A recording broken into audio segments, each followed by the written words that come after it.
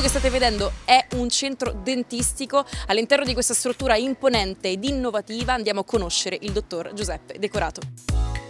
Tra le innovazioni portate dal dottor Decorato rientrano anche quelle relative alle parti protesiche.